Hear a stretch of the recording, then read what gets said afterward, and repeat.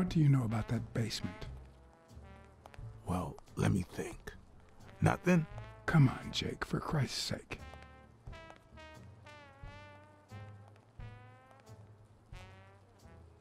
I don't want to insult him. I'm running out of threats to get you talking, Jake. And frankly, I don't want things to get violent. I've come to get O'Leary several times, but they always make me wait in the dining room. One day it was so late that the restaurant was closed. They made me call from a payphone in that alley over there to let them know I was here. A few minutes later, O'Leary came out the back door, that red one there. All right. You stay by the payphone. Wait till I'm inside. If you see anyone, call the same number you did that one time. That got it? Screw you! A promising night indeed.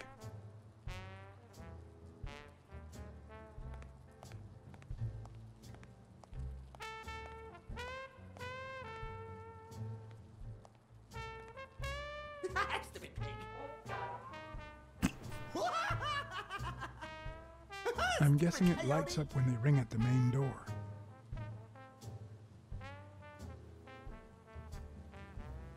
Would he even notice if I got in?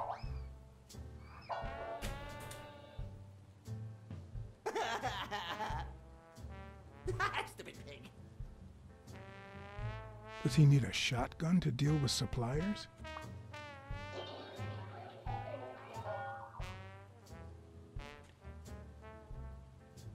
Maybe it leads to the basement.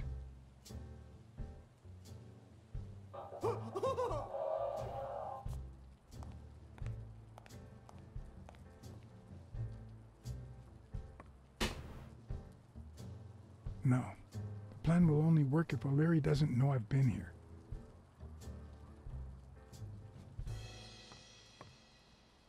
Should we go find a basement then? A bit too high to climb. If the basement I'm looking for were in that building.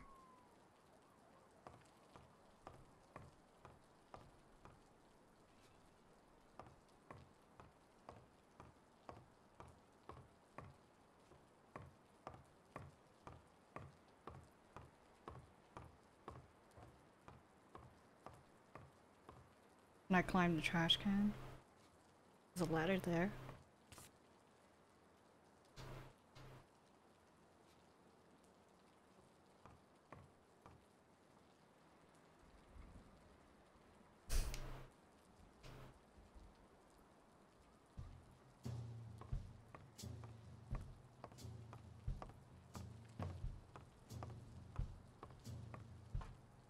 Could it be an elevator shaft? How does this thing open?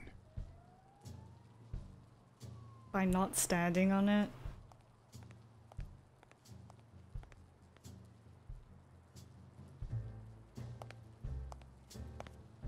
What happened?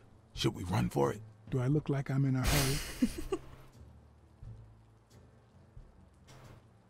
There's a guy watching TV inside the restaurant. A red panda, I think. Doesn't ring a bell. I don't recall any panda waiters. Are you done? What do you think? From the back door, I can see a hall that might lead to the basement. Does that sound familiar? O'Leary sometimes comes from a hallway. But who knows if it's that one? What's taking you so long? You want to switch places? There's a trap door on the ground, right by the restaurant. Does that sound familiar? Huh? The, the restaurant or the trapdoor? Okay. Forget it. Check out that graffiti. You're in On Leong Tong territory. Wow, I thought the Tong Wars had ended years ago. Maybe someone nostalgic just got bored. Damn Chinese mafias. Yeah, American mafias are infinitely better, no doubt. Wow.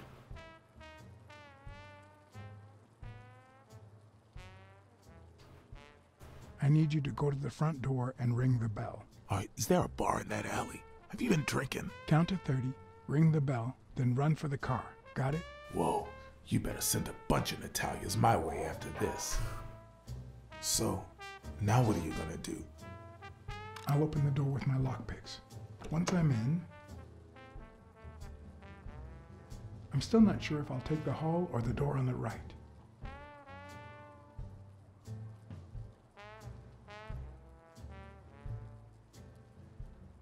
Oh. Guess I'll take the door.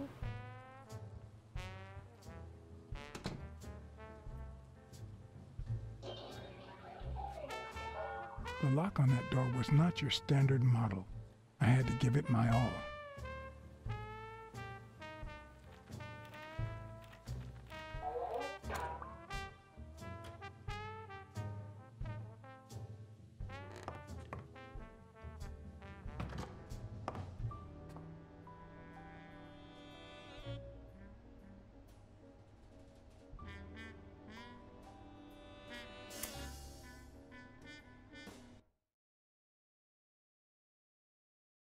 Oh.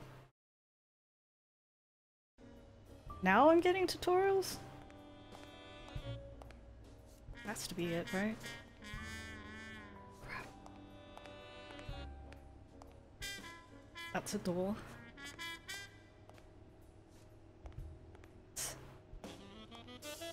Ah, who cares about collectible? Isn't this it?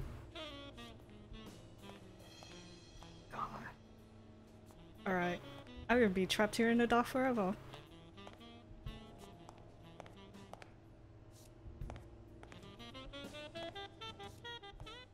I don't understand why that's not the light switch.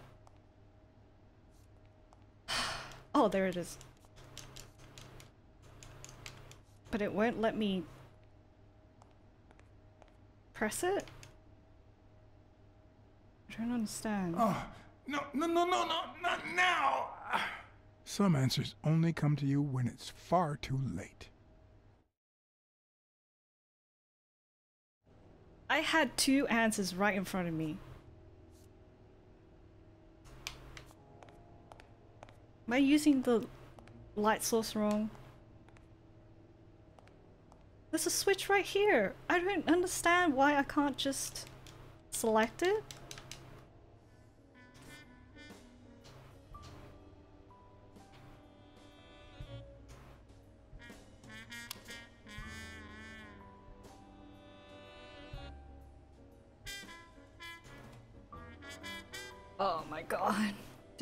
Tell me to find a light light switch?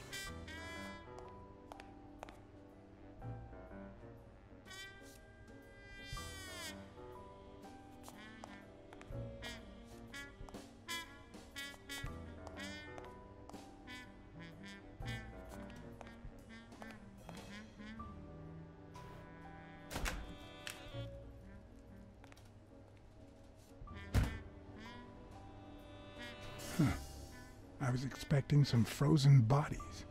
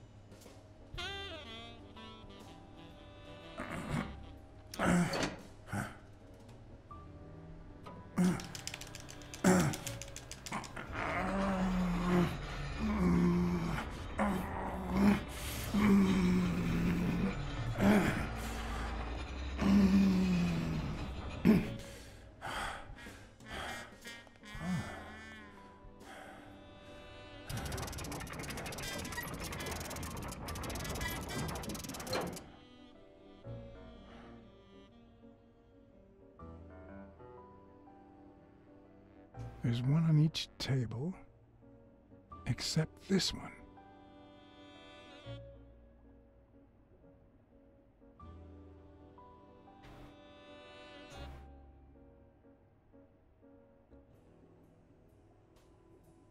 Hmm. The odds are incredibly in Stone's favor.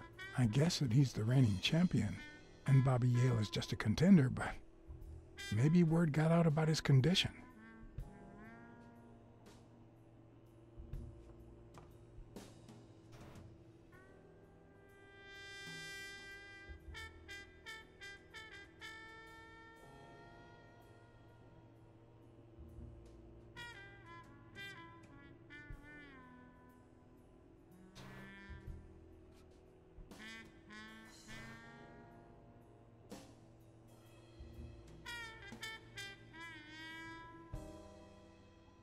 Does O'Leary have a network of pals?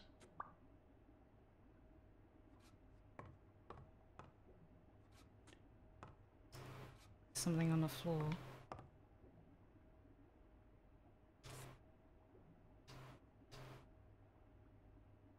Wow. I didn't realize you could place so many bets on a single baseball game.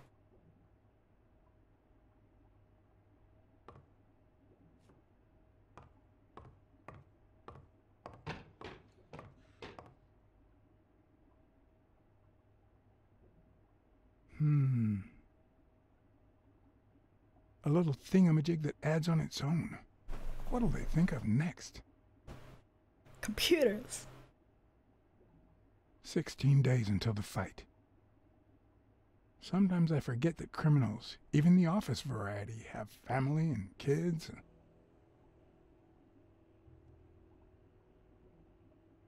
Uh. Okay. Anyway, maybe things aren't so bad on the dark side. It looks like a summary of all the bets that come in day, amount, bet, wagerer. Wait a minute. Did O'Leary himself bet five grand on Yale?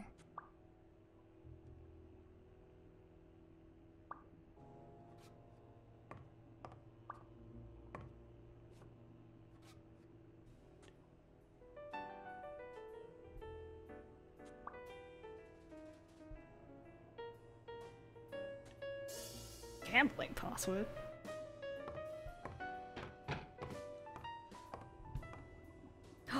An aquarium.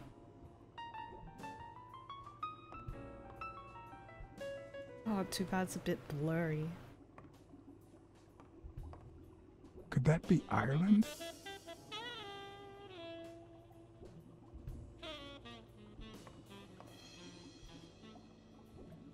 A Crossler? The good news is, I don't need lockpicks to open it. The bad news, I didn't bring explosives. Password somewhere.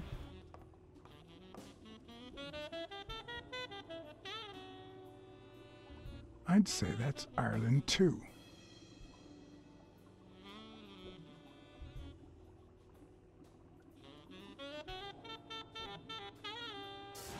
Even Dunn had a gun in his office. God, O'Leary couldn't me. possibly be the exception. Dunn had $200 in his safe. O'Leary had about 20,000 in a drawer.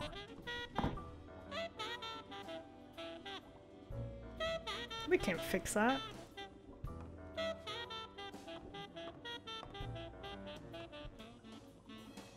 Ireland, of course. This guy's obsessed.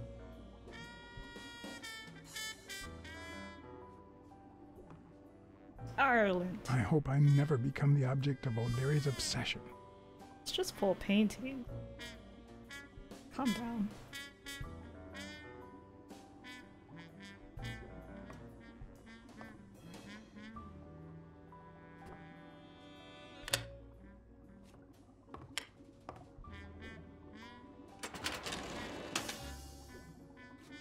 The painting concealed file after file of celebrity reports with all sorts of shady information, ranging from S to Z. Almost all of them were athletes. Is that what O'Leary meant when he said that detectives and police officers were his friends? I wonder how many spy for him. If I were to pitch in, who would I spy on? Um. Who's Timothy? I'd spy on, uh. I guess.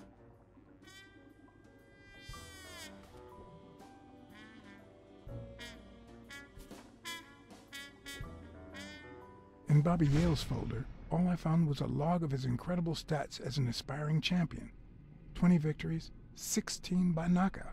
Although, at the end of the report, someone had underlined one word several times untouchable.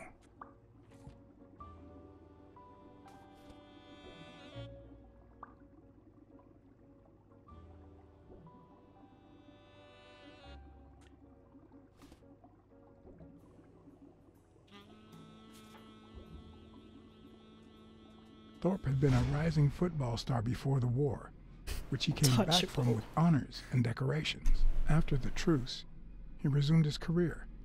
He won three season trophies and a couple of MVP awards. He retired after an accident that left him paralyzed from the waist down. He started his own sports advertising agency four years ago, but according to the files, O'Leary hadn't even tried to corrupt him.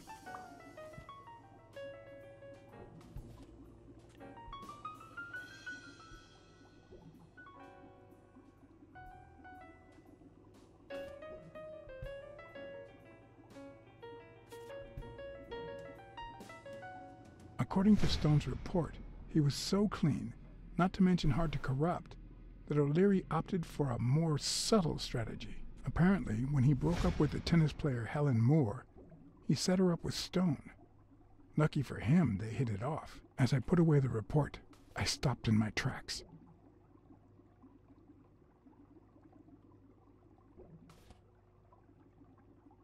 Did I really want to risk knowing what O'Leary had on my good friend, the incorruptible police commissioner? Be honest, if Smirnov had anything to hide, I'd rather not know. No, I it. wanted to see. Ah, It's just too fast.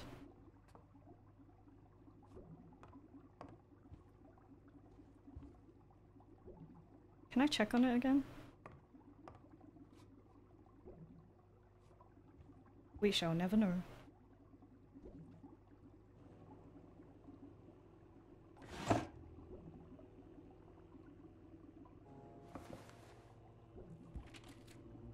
Limited edition copy two of three.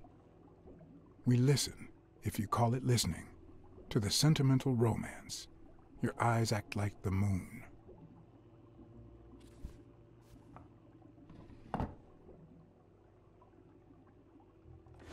If they're not together anymore, why does O'Leary keep so many pictures of romantic moments with Helen Moore?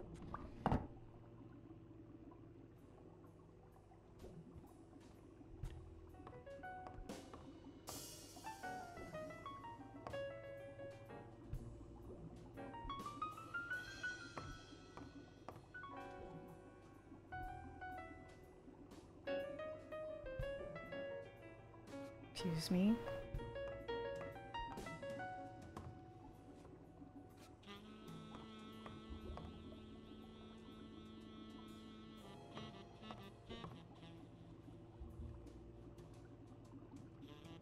Oh, I'm just turning the light on.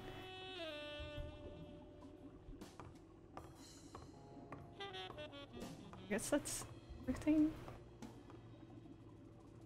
Oh wait, don't tell me these four paintings have four hidden compartments.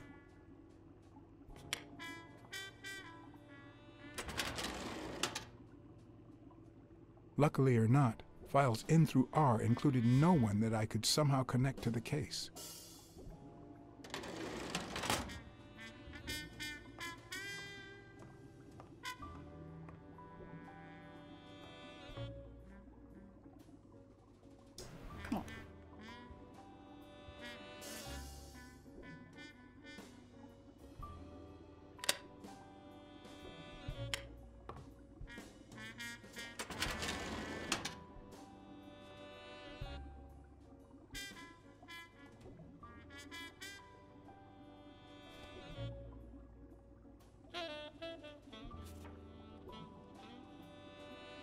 Dunn's integrity was legendary, even in O'Leary's shady reports, just like Yale had said. Dunn had kicked one of O'Leary's men out of the gym when he found him snooping around.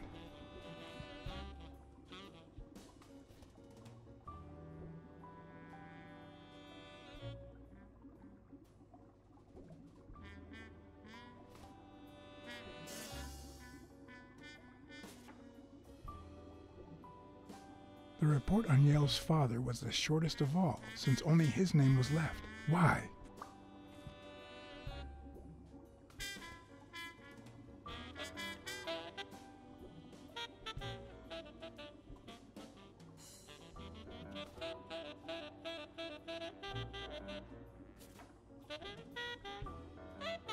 Cassidy's report was possibly the longest among all of O'Leary's files. Apparently, their rivalry went way back.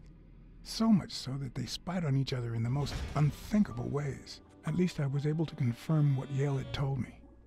Cassidy had threatened Dunn after he refused to join the managers union.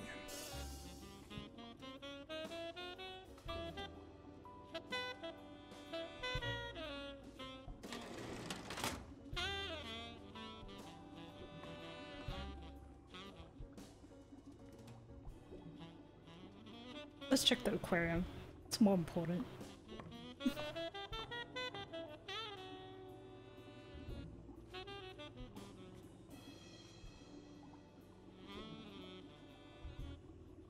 Jeez, come on.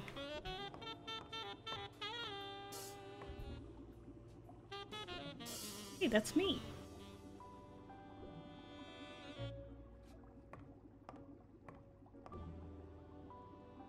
Maybe that's O'Leary's obsession.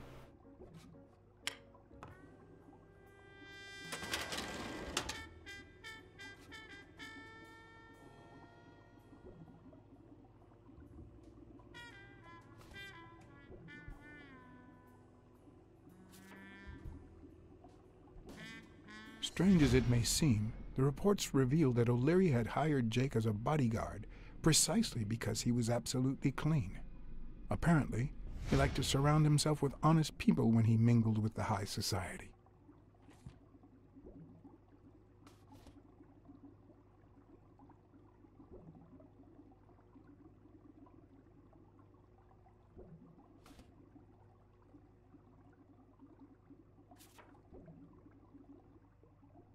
Helen Moore's file was, by far, one of the juiciest. She had been just a run of the mill tennis player until O'Leary launched her career by rigging enough games to help her climb the ranking. However, O'Leary hadn't fixed any of her games in over a year.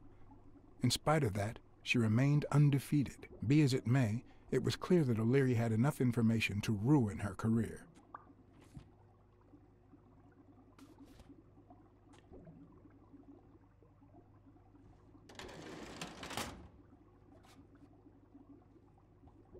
Guess I'm done.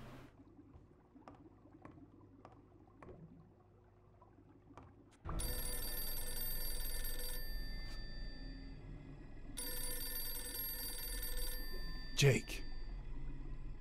Someone was coming. Are we or are we not exemplary workers, Jimmy? Here it is, middle of the night.